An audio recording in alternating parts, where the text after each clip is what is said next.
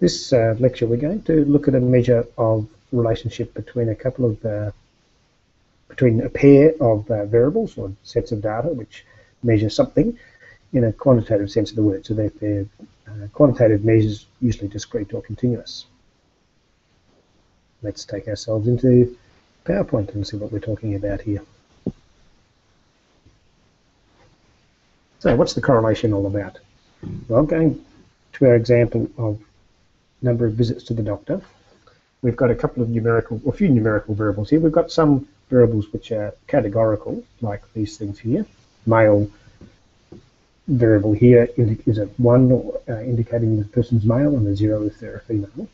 But the other uh, columns are representing uh, what you might call quantitative, or the, the numerical measures. So how many times did you visit the doctor? What is your age? How many years of schooling have you had?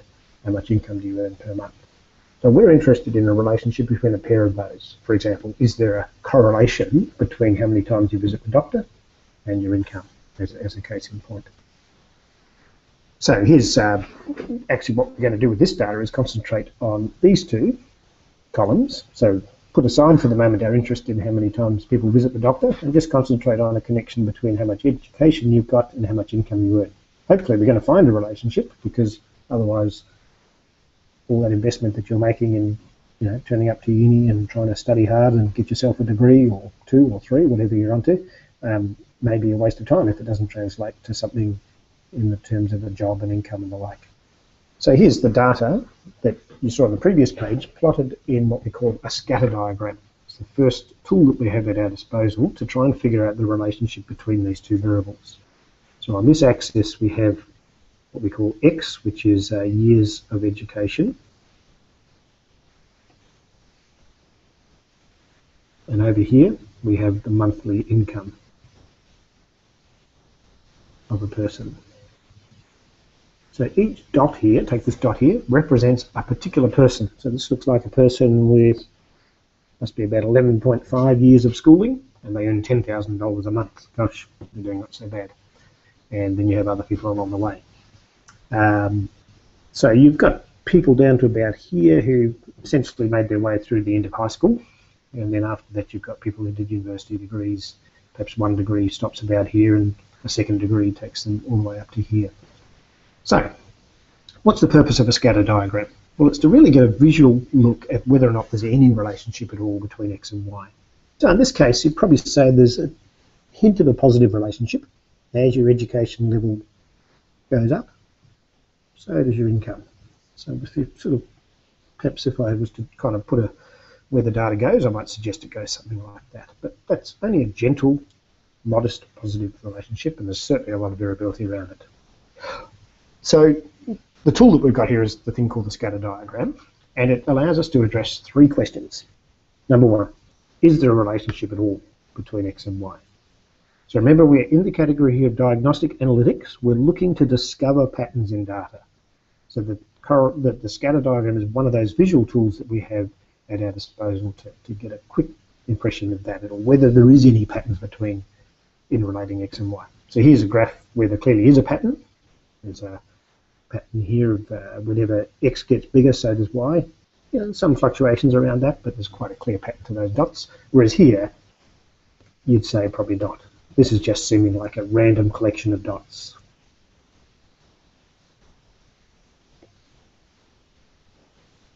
No real pattern. So that's the first thing you can do with a scatter diagram, answer that question. Second thing, what's the direction of the relationship, assuming there is one? Here's a case in point where uh, the relationship is positive. X goes up, Y tends to also go up. And this is the, the example here you've got is how much people, how many ice creams people buy, and that tends to go up with the temperature. People don't tend to buy too many ice creams when it's less than 20 degrees or even the low 20s, but as the temperature gets up into the like, high 20s and 30s, then you see the demand for ice cream actually increase. Not surprisingly, it's hot, you need something to cool you down. So that's a positive relationship. And over here we have a negative relationship in that as this x variable inc increases along this way, then you tend to see that the y variable tends to go down. Um, the example we have here is the price of ice creams. If they, if they get too expensive, people will buy less of them. This is what in economics you refer to as your demand curve, where you've got uh, the, the price increasing and the demand going down. People can't afford $4 ice creams, so they buy less of them compared to $2 ice creams, for example. Just a little point, when we plot our scatter diagram, we always plot what we think is the sort of x factor against the y factor, and x, typically x causes y, at least we think it might. And that's the reason we choose, that, that's the basis on which we choose which is the x factor and which is the y factor. When you do demand curves in economics, for some reason in economics, we usually put quantity and price this way and draw a demand curve this way, which is kind of almost the wrong way around because we tend to think that price causes demand. So in the statistical sense of the word, we should actually have our graph with price on this axis and quantity on that axis. But but that's just the tradition that's in economics, and there's some actually good reasons for that because the argument is that quantity and price interact with each other, uh, both cause each other rather than price clearly causing quantity demanded. So another point for another time. Okay, second question, what direction is the relationship? And the third question, is the relationship linear? This is important because later on, when we start to do predictive analytics, we're going to have to start building models. And the model that we build is going to be a linear model. And in particular, in, in addition, even in the present, we're on, talking about a measure called the correlation. The correlation is a measure of linear connection between variables. So we need to know whether the, the, the two factors relate in some kind of a linear way. So this case here, it looks pretty much like it's a fairly linear type thing. As x goes up, y goes up. So it's positive, and it tends to go up. If you were to kind of follow that pattern, you'd have to say it's pretty close to a straight line. Whereas here, the relationship between maximum temperature for the day and how much electricity people use is most definitely not linear. In fact, it's U-shaped. Why is that? Well, people tend to use electricity at home, especially when it's really cold, so they use their heaters, and when it's really hot, so they use their air conditioners. And the times that we use the least amount of electricity is when temperatures are just at that mild to warm level where we don't need a heater and we don't need a cooler. So you do get that pattern there. And that's important, as I say, because the measure of correlation that we come up with will not be really designed to capture this kind of relationship here. There's clearly a pattern there, but it won't show up in a correlation. So what does correlation do? Well, basically it measures the strength and the direction of a rela linear relationship between x and y. So is there a direction and how strong is it? So far we've been able to sort of learn yes by just looking at scatter diagram. We've got some idea about whether there is a relationship and what direction it is. But this allows us now to, to quantify that relationship in terms of how strong it is with a number. Here's the formula for the correlation. It's a little bit ugly looking formula, but it's not too bad. Essentially what it builds around is the deviations, just like we learnt in the past about variance. The quantity that really matters to us is this quantity here the deviation of x around its mean, but we also want to line that up against the deviation of y around its mean. And then so that we can produce a measure that's got standardized units, we're going to standardize these by their standard deviations and don't worry about that for too much, just just uh, trust me on that, but that, that's the standardization that you do so that when we calculate the correlation, we're going to get a number that's within a, a nice range, in fact, between minus 1 and 1. I'll come back to that in a moment. But what we do is we, we take the deviations of x from its mean and y from its mean, and then we multiply them together for each of the pairs. So for person number 1, we get their x value and subtract the mean, and then we get their y value and subtract the mean, and then we multiply that x and y deviation together. Person number two, we subtract the mean for x of, of x from its mean, or it mean x minus its mean, y minus its mean, and multiply the two together. So we get the product, which kind of captures the connection or the relationship between the two of them. So when you do that, you end up with, let me just draw a picture to help you with this. Suppose I draw my picture a little bit differently. This time, instead of x and y axes, I'm going to draw x and y, and suppose I've got my data like this. So these data up here represent values of x which are bigger than the mean. This particular point here, this is xi. That's x, x bar is back here. That's xi. This point here represents x bar. This is yi, and this represents y bar. So any point to the right of this line here, this vertical line, is where x is bigger than x bar. You've got a point of x here which is much bigger than its mean. You've got a point of y also above that line which is much bigger than its mean. Multiply those two together, you get a positive product. If you multiplied a number here by where x is bigger than its mean but y is less than its mean, you get a negative value for y minus y bar. So you get a negative product. Anyway, you multiply these various things together, and then you, having standardized them, and you then add together all those paired products to, and average them. So you add them together and divide by n. Well, not quite n, n minus 1, because there's some little tricky adjustment that we've got to do, which we'll get onto at another time. So what that does is it effectively allows you to capture the strength of the relationship between x and y. If I get data that's mostly like this, I get lots of positive x minus x bars being multiplied by positive y minus y bars, and then negative x minus x bars being multiplied by negative y minus y bars. Negative times a negative is a positive, so all of these dots represent products which will be negative, which will be positive rather, and therefore I get a positive correlation. On the other hand, if I have a data that looks like this,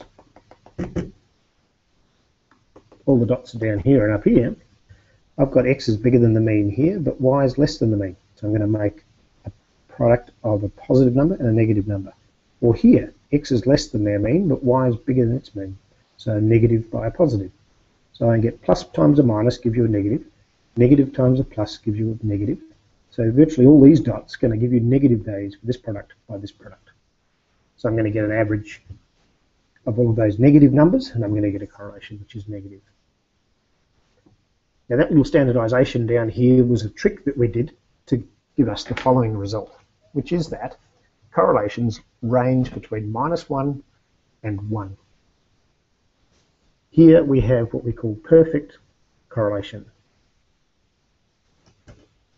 but negative correlation.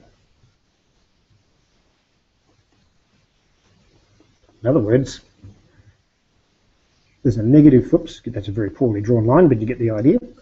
There's a negative relationship between x and y, and it just basically follows a straight line. As x goes up, y goes down.